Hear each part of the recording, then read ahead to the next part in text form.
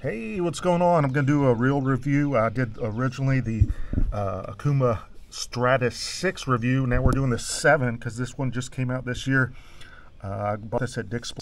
It's uh, uh $50. Uh, they have it on sale for 40 I think, right now. So, uh, pretty good deal there. If you like the original 6 one, I'll talk about it in a second. You would definitely like this. it's got the more sleek black. same uh, awesome construction. It's very, very lightweight. And uh, this, this metal, you almost think it's plastic on how lightweight it is and everything. So if you're into ultralight fishing, this uh, SVI II 10A would be a fantastic, uh, cheaper reel that is going to hold up. I've used it for a couple of weeks now, caught some bluegill and small bass and stuff like that. Hadn't had any issues.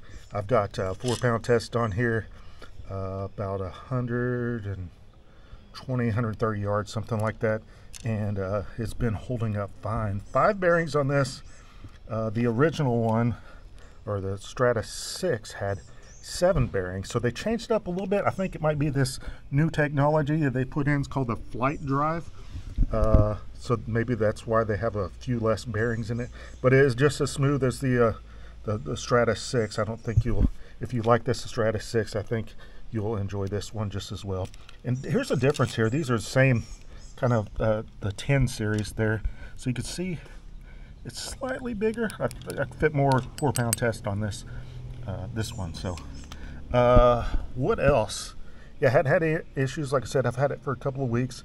Very smooth. It, it, it very solid as well for being so lightweight. You wouldn't think that would be the case, especially in a $40, $50 reel but it's it's it's done fairly well so far. Uh, I, I did said I got this at Dick's.